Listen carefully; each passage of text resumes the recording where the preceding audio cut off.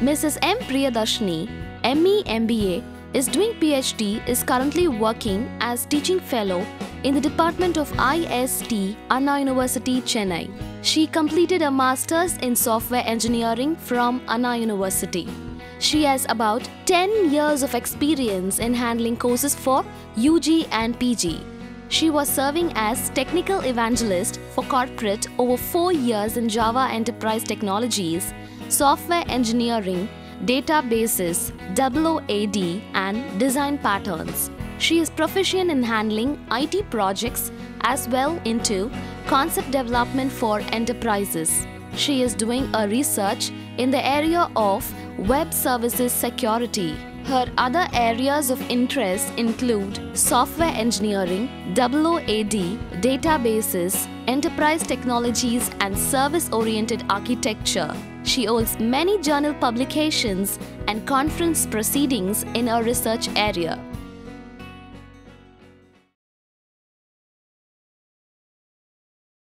Welcome to UGC lecture series in Computer Science Java part 15. So, in this session we are going to have a look on what is scrollable result set and about metadata. So, result set metadata, about database metadata and how exception handling is done in JDBC. So, first we will see what is a result set. java.sql.resultSet object contains the data in rows or column format. By default, the traversing data in result set object is only in one direction forward, but it is not always required.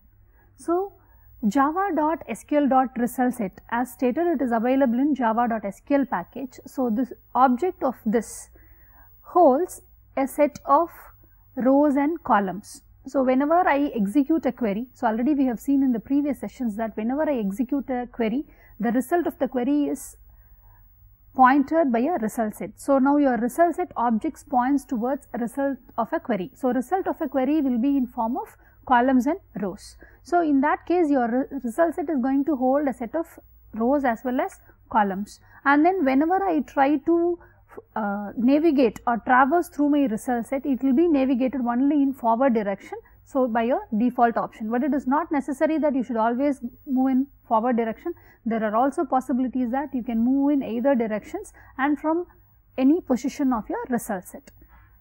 So, that is what is scrollable result set. Sometimes we require traversing data in both forward and backward direction. So, your JDBC 2.0 version support this feature and many more. With scrollable result set object, you can move your cursor forward, backward and to specific rows within the result set.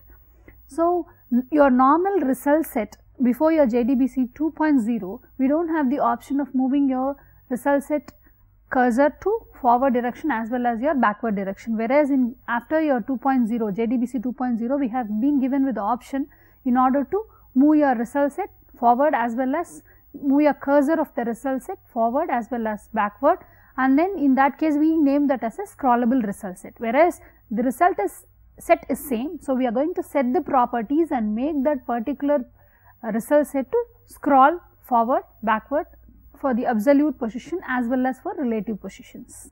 So, we can have a look on what are all the types of result set we have. One is result set dot type forward only.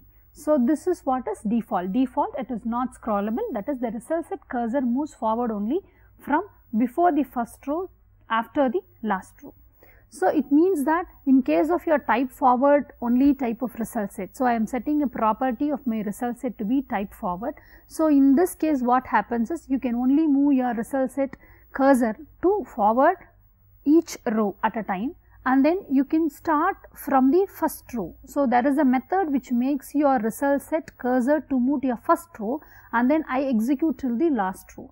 So, I can navigate only through forward direction whenever I set this particular property to be type forward only. Whereas, the next type of result set is result set type scroll insensitive. So, it is a scrollable result set. Its cursor can move both forward and backward relative to the cursor's current position and the cursor can move to an absolute position also, but it is not sensitive to the changed data means if underlying data is changed is not reflected in your result set object. So, it means that uh, for example, I have executed a query and the result of the query is, is now, now available in my result set. So, in that case if I use this option of type scroll insensitive, so when there is another person or another user or the same user is accessing the particular data that is available in your result set. So, your result set will be pointing towards a set of rows and columns. If somebody is trying to change, if another user is trying to change your row data or a column data, so in that case the changes will not be reflected in the current result set object that you are using. So, the current cursor position to your forward as well as to your backward also I can give some relative index and then I can go in for that particular record from your current cursor position. The only thing is the changes that a user does at that point of me using the particular result set will not get reflected in the result set object. So, that gets reflected in your next type of result set. So, your next type of result set is result set dot type scroll sensitive. So, here the result set is scrollable again, its cursor can move in both forward and backward direction relative to the current cursor position and it can move to an absolute position also, but it is sensitive to changed data means if underlying data is changed it reflects in the result set object. So, for example, if one user is trying to access a particular uh, table, the contents in the particular table using a particular query that has been returned as a result to your result to your result set. So, in that case if another user is trying to change the data that is available in the row or in the column. So, in that case whatever the change that person is making. So, think that I am in the third row and then I am trying to move to my second row or I am trying to move to my sixth row where some changes has been made. So, in that cases whenever I move my cursor at that point of time the result set will hold the data that has been changed by the other user.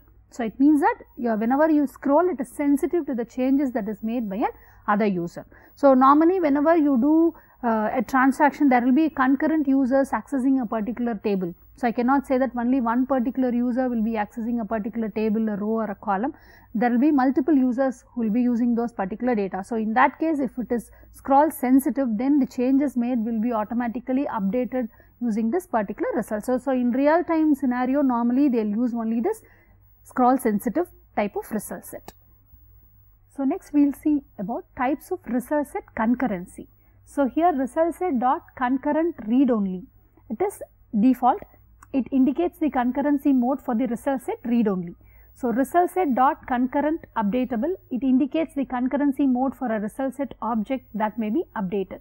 So, this is related to the concurrency mode. So, previously what we have seen is with relationship to your data as well as whether it's scrollable or not scrollable. Whereas here this is related to concurrency. Whenever multiple users are trying to update the data, whether this result set data. So, I say sensitive. If I have set my uh, result set to be sensitive, then all these are applicable. So, it means that if it is sensitive, so when one person is trying to read, so I say that result set dot concurrent read only. So, in case if it is concurrent dot read only, my result set can only allow and one person to read the data and then other person if he is going to access it he can only read. He cannot write the data provided somebody is using that particular data. So this is related to concurrency. Whereas normally whenever i say sensitive the updates the changes that has to be made. So what changes that has to be made how the changes could be made is said in your concurrency i mean type of the concurrency. So here concurrent updatable. So, it means that whenever one particular user is using a result set that is the data is fetched to a result set and another user is trying to update it whether I can allow that particular update or not. So, I can set my uh, result set type to be updatable. So, in that case, so whenever a person is trying to read another person could be able to update that particular record set or not. So, you can see here we have class dot for name. So, already we have seen how to uh, make a connectivity with your database and then we have also seen how we are going to have a result set. What do you mean by statement? We have seen what are all various types of statements available in your JDBC, all these options we have seen. So, uh, anyway, I will uh, intimate you what, what is the syntax and what this syntax refers to. Class dot for name. So, this is your driver name. So, next I am making a connectivity. So, here while I make the connectivity I have to specify the driver type. So, here I specify that it is JDBC MySQL. So, localhost mentions that the particular database is available in the same system in which currently you are using and then your username and then your password. So, I am creating a statement connection dot create statement. Here this is a change what we have included. So, in your previous case we have not mentioned any parameter for your method create statement whereas here we have included whenever we create a statement. So, what type of result set we have to use. So, whereas in your previous options we have, I have just given you that create statement method does not have any parameters. Whereas here we set two parameters one for your type of scroll and other one for your concurrency. So, you can see that result set dot type scroll insensitive. So, this is a variable a value is predefined result set dot type scroll insensitive it means that this variable will be set to this particular parameter here concurrent dot read only. So, now this particular statement will have a property that the scroll is insensitive it means that if somebody is trying to change the data of that particular result set then in that case this is not sensitive to the changes that is being made. So, my result set will only hold the data that is being fetched at that point of time when I have executed the result set, when I have executed the result set. Whereas concurrent read only it means that I can allow only concurrent read options, but I will not allow another person to update while I am reading a particular result set. So, here statement dot execute query. So, you know that there are two methods one is execute update and the other one is execute query. So, execute update is normally used for DDL commands and your DML commands whereas execute query is used to write a query. So, here we have we are trying to access the all the rows and all the columns of a particular table EMP. So, now in your result set will hold all the rows and columns of this particular table. So, here I call a method result set dot next. So, already we have seen what is the use of next method. So, next method will move my cursor to the next position. Also, I have told you that in, in case of result set to access the first row you have to call your result set dot next at least once. So, this will point to your first row provided if you call the method rs dot next. So, this rs dot next will return a boolean value. If it is true, it means that you are having a row next to the cursor position. So, it means that I am my cursor is in one position if I give rs dot next it moves to the next position if in next position you have a record. So, then at that point from the result set you can access all your columns that is available in the result set. So, here I have given display res. So, it will display the entire res. So, now you can see that this res is a result set which holds the property these two properties.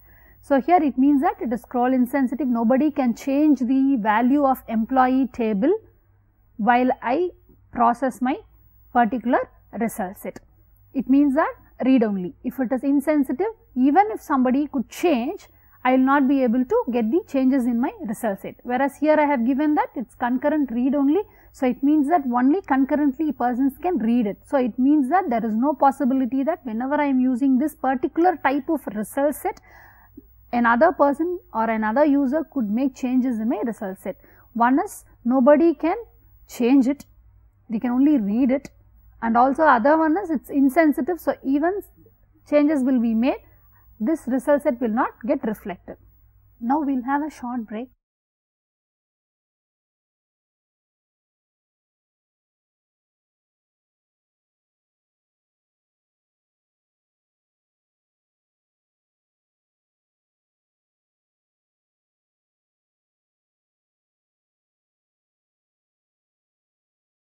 So, welcome back after the break. Now, we will continue our session with types of metadata and then exception handling mechanism in JDBC. So, here we have few methods of your scrollable result set public void update string. So, I am trying to update the string and then I am specifying a column index and what string I am trying to update. So, it means that this method update string right? Whenever this method update string is called it will be pointing to one particular row. At that particular so it may be in second row third row fourth row any row of your result set. So in that particular row with the particular given column index i need to change the contents with a particular string value. So that is what is the use of method update string. Changes the string in specified column to the value of s.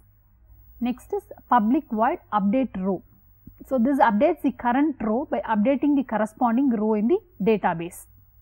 So, whenever I am in a particular row and then my database somebody some other user would have changed my data in the database. So, in that case if I say update row, it means that whatever the data that is available in your database gets updated to your result set. So, updates the current row by updating the corresponding row in the database. So, next is scrollable result set, few other methods here, public boolean first. So, this first method will always point to the first row. So, we have already seen that till your 2.0 we do not have an option to move to first last. So, we do not have these methods whereas now we have the methods to directly move into the first row last row whereas we have only been using in your previous sessions and all we have only been using next method and then we will be accessing only the next next row whereas we will not be able to move to any other position and also one more thing is still once we come to the end then again I have to execute the result set once again then only I can start from the first row. So, it means I have to go to scratch and then my result set should be loaded with the new data and then I have to start from my first uh, position. So, whereas here we have option to scroll down and scroll up. So, we are we have been given with methods in order to move to your first row, second row and all the other rows. So, you can see here move the cursor to the first row whereas here public boolean absolute int and row. So, absolute means so move the cursor to specified row. So, what is uh, difference between your absolute and relative? So, whenever I say absolute, I want to, I have 5 rows. I say absolute, five, absolute 5. So, it means that I directly go to 5. I may be in the second row or I may be in my third row or I may be in my fourth row. But whenever I give an absolute, so it means that it will directly move on to the fifth row irrespective of the current cursor position. So, even we can also have relative positioning from your current cursor position. So, whenever I say relative, so it means that from your current cursor position I have to move 2 rows, 3 rows that also I can do. So, for example, in case I want to uh, see the uh, second largest value of a salary or some fields in my table. So, in that case I can just move on to my particular number of rows from the cursor position. I may be in any position just I can move, move my cursor position relatively or I can move it absolutely to a particular position. So, here you can see that we have scrollable result set for a prepared statement. So, whatever the create statement that we have seen already for a normal statement, you know what is difference between your normal statement, your prepared statement and callable statement. So, your statement will execute a static query.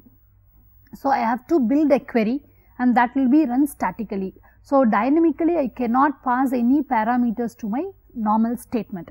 Whereas, if I am using a prepared statement, I can dynamically set some values to my prepared statement and then I can execute it later on. So, I can set all the input values and then I can execute that particular prepared statement. And the next type is callable statement. So, in case of callable statement, I can just call the uh, a procedure which is already been created compiled as a part of PLSQL code. So, I have a PLSQL code which has already been created, compiled and executed. So, just I will make a call to that particular procedure and get the results back. So, here a scrollable result set in case of prepared statement. So, here prepared statement object connection dot prepared statement. So, I am giving a string. So, this normally this SQL string is nothing but a particular string with a set of question marks. So, question mark indicates that you are going to dynamically pass some parameters to these questions mark, question mark normally. So, for example, instead of having select star from employee, I will normally write in case of prepared statement select star from employee where department is equal to or select star from employee where employee ID is equal to. So, it means that that value will be passed dynamically. So, in that case also I can set my scroll type. It may be set to insensitive, sensitive. We have already seen uh, various uh, scroll types you can also set that and here result set dot concurrent updatable. So, it means that one particular person is accessing so another person can update that particular uh, result set values. So, next is about metadata. So, the simple meaning of metadata is data about data. So, there are two metadata available in JDBC API. One is result set metadata and other one is database metadata. Here result set metadata, it is used to make descriptive information about the result set object like number of columns, name of the columns and data type of the columns. Result set metadata holds the data about the result set. So, normally what do we have in your result set? A result of a particular query. So, I normally execute a query and that query will be the result of the query will be fetched to your result set. Now, whenever I execute a query, if I say select star from EMP, as a programmer I am not aware of what are all the columns, uh, rows available in that particular database. So, for accessing all those rows and columns, the details about the rows and columns, I can extract the metadata information of the particular row and column, like what is the column type, data type, what is the column name? And what is the particular uh, column number. So, whether it may be first column, second column. So, that purely depends on the query you write. So, that information could be extracted using result set metadata.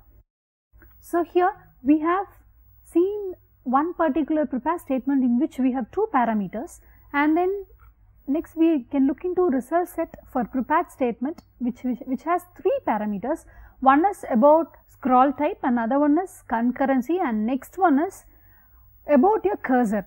Okay. So, it means that whenever I am trying to make changes, so hold your cursor over your commit. So, whatever the commit that would be done, your cursor position will be hold over that particular commit. So, here we have three parameters for your result set type which could give information regarding your scroll, regarding your uh, concurrency control and your commit. Here result set are created using return callable statement objects also. By default type what we have is type forward only and have a concurrency level of concurrent read only. So, uh, callable statement you as already told you that whenever I execute a callable statement results of result of that particular procedure will be returned back. So, in that case also I can specify the parameters regarding my result set uh, about my concurrency as well as about my scroll. So, here we can have a method called prepare call. So, in the prepare call method we normally give the SQL and then result set type result set concurrency and about the holdability. So, this holdability gives about our transaction details. You can keep a result set available across transaction boundaries for use by multiple JDBC calls. So, it means that multiple JDBC calls from multiple users could be had on one particular result set data. So, result set metadata, I am describing the result set metadata here, it is used to make descriptive information about the result set object like number of columns, name of columns and data type of the columns. First, we have to create object of result set metadata by calling get metadata method from the result set object.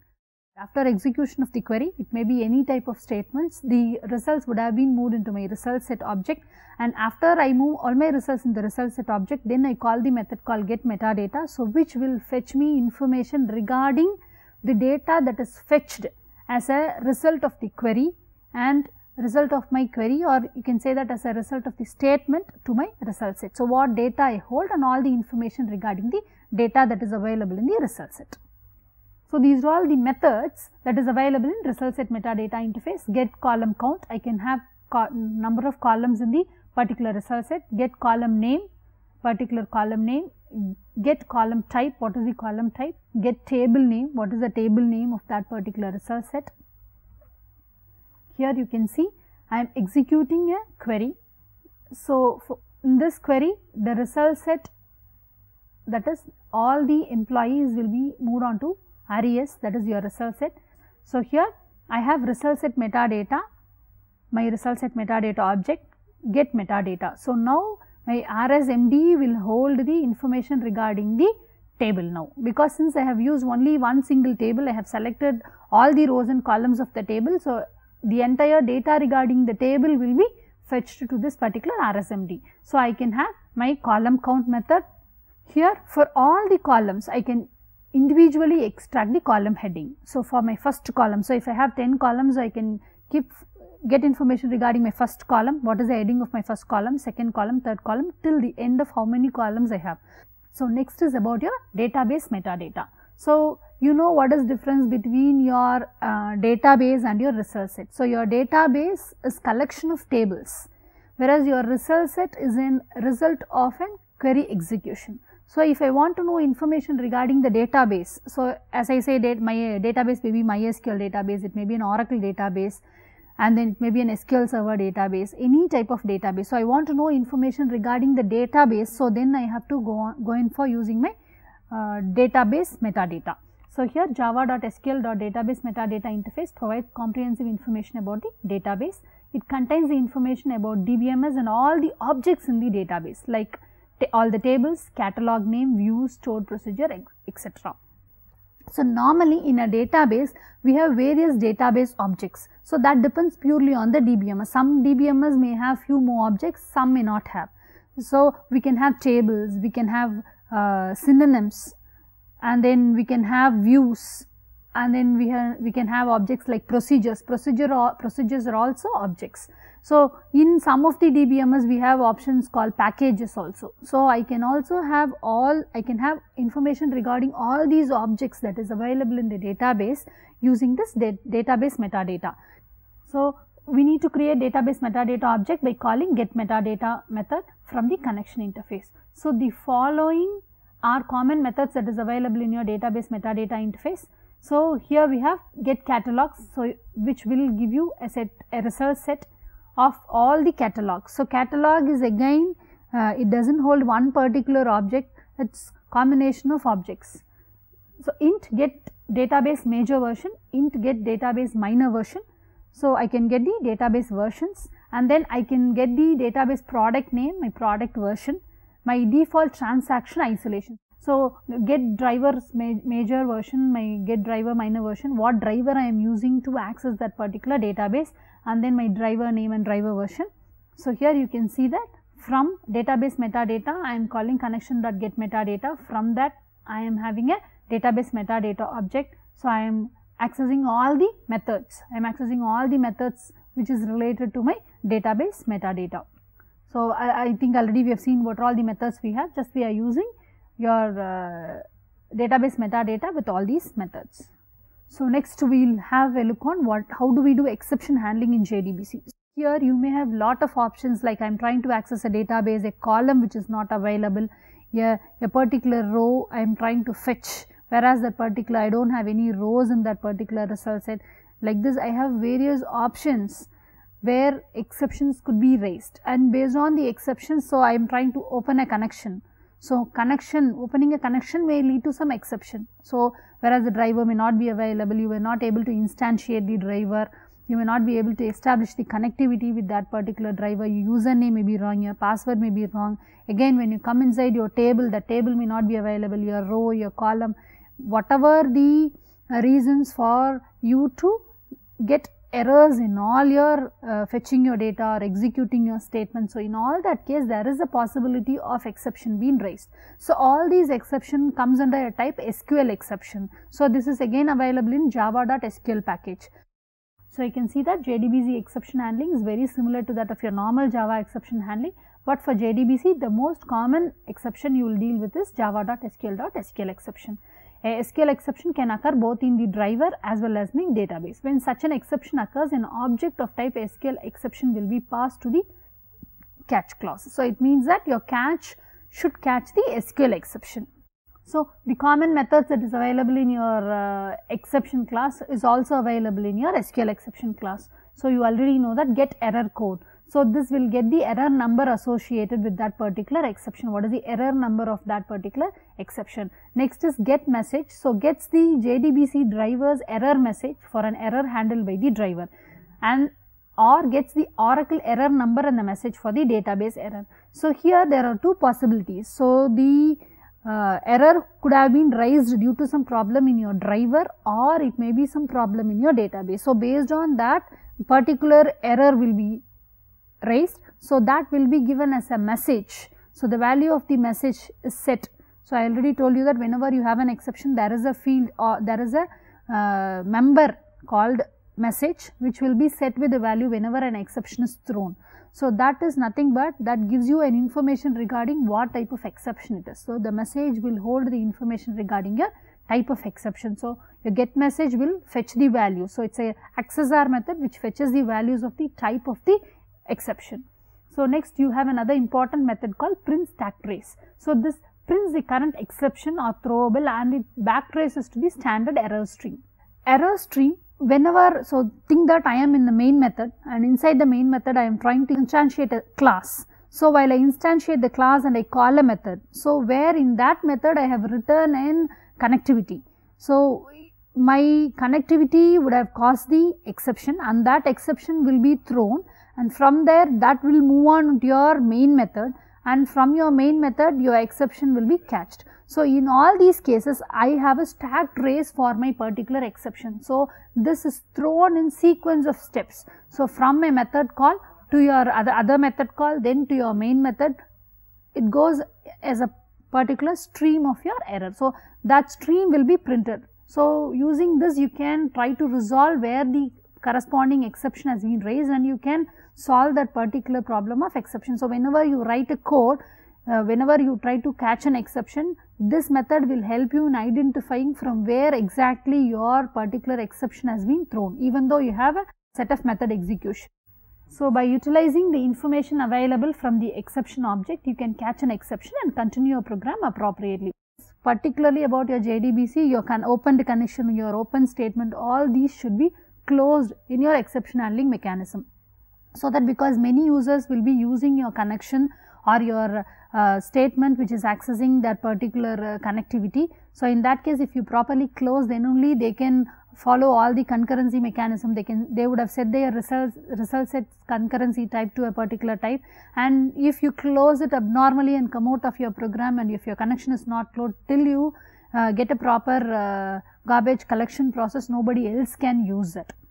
So, in this session we have seen about uh, scrollable result set about metadata, types of metadata that is your database and result set metadata and also we have seen how exception handling is done in your JDBC. So, from this session you will be able to answer questions such as how to make a result set scrollable, what is metadata and give two types of metadata that is used in Java particularly, how to access metadata from the connection and when an SQL exception is created. So, at which scenario SQL exception is created. So, other than this result set, we also have an option called row set. So, this row set is wrapped across your result set. So, I have a result set and then using a, a wrapper called row set, they have given more number of options which could be performed on your result set. Thank you.